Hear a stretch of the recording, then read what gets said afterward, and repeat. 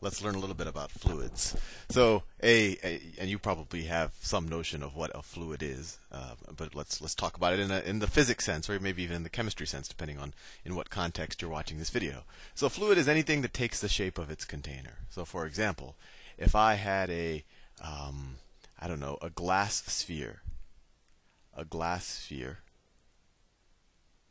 And let's say that we're we're in like a uh, well, let's say I completely fill this glass sphere with water. I was going to say we're in a zero gravity environment, but you really don't even need that. Let's say that every every cubic centimeter or cubic meter of this glass sphere is filled with water. And notice, and, and then let's say that if I were to, um, and let's say it's, it's not a glass, let's say it's a rubber sphere. If I were to change the shape of that sphere, but not really change the shape of that of the volume, and if I were to change the shape of the sphere where it looks like this now, the water would just change its shape with the container. Right? The water would just change the shape with the container. And, and in this case, I have green water. And the same is also true if, if I had, uh, if that was oxygen or if that was just some gas, right? It would fill the container, and in this situation, it would also fill the, the, the newly shaped container. So a fluid, in general, a fluid takes the shape of container. Takes shape of container. And I just gave you two examples of fluids. You have liquids, liquids, and you have gases. Those are two types of fluids. Both of those things take the shape of the container. And now, what's the difference between a liquid and a gas then? Well, a gas is compressible. Compressible which means that I could actually decrease the volume of this container. And, and the gas will just become denser within the container. So you can think of it as um, if, if I blew air into a balloon, you could squeeze that balloon a little bit. There's air in there. I mean, at some point, uh, the pressure might get high enough to pop the balloon, but you can squeeze it. While a liquid is incompressible. In, incompressible. And how do I know that a liquid is incompressible? Well, imagine the same balloon filled with water, completely filled with water. If you squeezed on that balloon from every side, so let's say that, let me pick a different color. Let's say that I had this balloon and it was filled with water. If you squeezed on this balloon from every side, you would not be able to change the volume of this balloon. Actually, you don't, no matter what you do, you would not be able to change the volume of this balloon, no matter how much force or pressure you put from any, any side on it. While if this was filled with gas, and magenta balloon for gas, you actually could decrease the volume by just increasing the pressure on all sides of the balloon. And you could actually squeeze it and make the entire volume smaller. So that's the difference between a liquid and a gas. Gas is compressible, liquid isn't. And, if, and we'll learn later that you can turn a liquid into a gas and gas into a liquid and turn liquids into solids. But we'll learn all about that later. But this is a, a pretty good working definition of that. So let's use that, and, and now we're going to actually just focus on the liquids to see if we could learn a little bit about liquid motion or maybe even fluid motion in general. Okay, let me draw something else. So let's say I had a a situation where um, let's say I have this weird shaped object which tends to show up in a lot of physics books, which I'll draw in yellow. This weird shaped container where it's relatively narrow there, and then it goes and kind of U-turns and into a much larger opening. Let's say that the area of this opening is, let's say that this is A1, and that the area of this opening is A2. Right, and this one is bigger.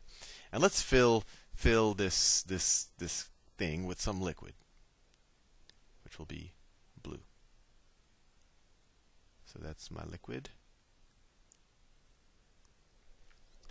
Let's fill it with some liquid. Let me see if they have this tool, if this tool actually works. There you go. Look at that. I filled it with liquid so quickly. All right, and and and this wasn't, uh, and this was liquid. This is not just a fluid. And so, what what's the important thing about liquid is that it's incompressible. So let's take what we know about about uh, force, uh, actually about um, work, and see if we can come up with any rules about uh, you know force and pressure with liquids, etc. So what do we know about work? Work is force times distance, or you can also kind of view it as the energy put into the system. So I'll write it down here. So work is equal to force times distance. And we learned in the mechanical advantage, etc., that the work in, work in, I'll do that I, is equal to work out, right? The the force times the distance that you put into a system is equal to the force times the distance you put out of it. And you might want to review the, the work chapters on that. But that's just the, the law of conservation of energy, because work in is just the energy that you're putting into a system, right? It's measured in joules, and the work out is the energy that comes out of a system. And that's just saying that no energy is is uh, destroyed or created. It just turns into different forms. So let's just use this definition. So the force times distance in is equal to force times distance out.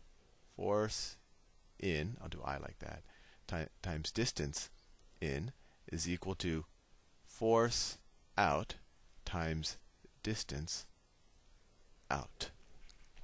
All right, so let's say that I pressed with some force on this entire surface. So let's say I had like a, uh, um, let's say it's like a piston.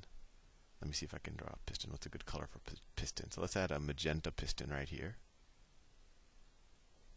And I push down on this magenta piston let's say I, so I pushed down on this with a force of F1, right? And let's say I push it a distance of D1. So let me say, so it goes, that's its initial position, and say its final position, I'll do in a, let's see what color. The hardest part of these videos is picking the color. So let's say like after I've pushed it, the, the piston goes this far. So this is the distance that I pushed it, right? So this is D one. The pitch, the water is here, and I push the water down d1 meters, or whatever, right? So in this situation, my work in is F1 times d1, right? But let me ask a question: How much water did I displace? How much total water did I displace? Well, it's this volume, right? I took this entire volume and pushed it down. So what's the volume right there that I displaced?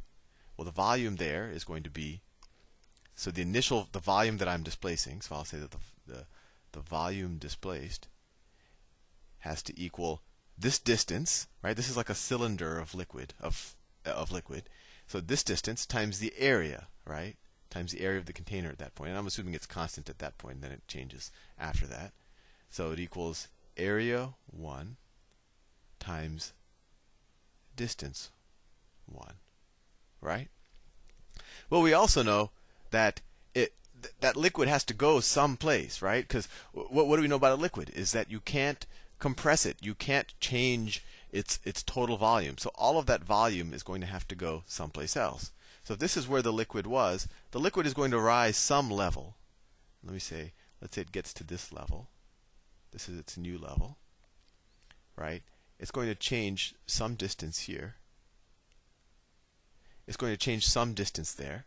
And, and how do we know what distance that's going to be? Well, the volume that it changes here has to it's got to go someplace, right? You got to say, well, that's going to push on that. That's all going to push, and that that liquid has to go someplace, and essentially it's going to end up. It might not be the exact same molecules, but that might displace some liquid here. That's going to displace some liquid here and here and here and here, and all the way until the liquid up here gets displaced and gets pushed upward. So the volume that you're pushing down here is the same volume that goes up right here. And so what's the volume? What's the change in volume, or how much? What's the new, how much volume did you push up here? Well, this volume here is going to be the distance 2 times this larger area, right? So we could say volume 2 is going to be equal to the distance 2 times this larger area. And we know that this liquid is incompressible. So this volume has to be the same as this volume, right?